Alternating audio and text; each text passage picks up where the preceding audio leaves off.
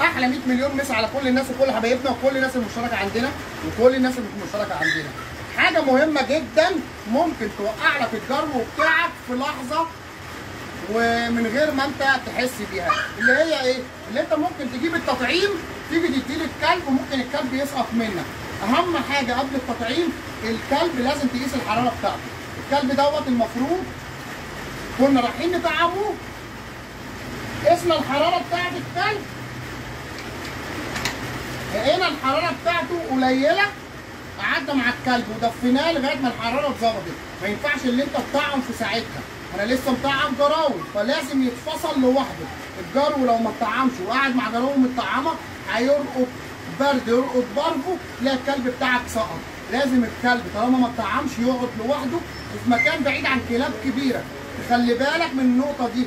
لازم قبل ما تطعم الكلب تقيس الحرارة بتاعته. لو الحرارة مظبوطة الكلب ما عندوش إسهال طعم الكلب لو عنده إسهال لا قدر الله الحرارة بتاعته مش مظبوطة ما ينفعش تطعم هتطعم هيبقى على مسؤوليتك أنت. ممكن تلاقي الكلب قعد يوم يومين والكلب مات. المرض بيفضل في الكلب ما بيبانش بيطلع على بعد أسبوع لو الكلب ما اتطعمش وتخلي بالك بعد ما تيجي تطعم لازم الكلب يقعد في المكان يوم يومين عشان لو أنت هتنقله من مكان تاني. وما تحميش الكلب بتاعك إلا بعد أسبوع من التطعيم ربنا يسترها علينا وعليكم وعلى كلابنا. دلوقتي إحنا زي ما إحنا شفنا اهو أنا دلوقتي حطيت للكلب اشاره عشان يقعد لوحده. عبال ما نطعموه مع بقية الكلاب. وهنحط له الأكل بتاعه اهو. الأكل دوت عبارة عن إيه؟ عن عيش وشوية رز ولبن نيدو اهو.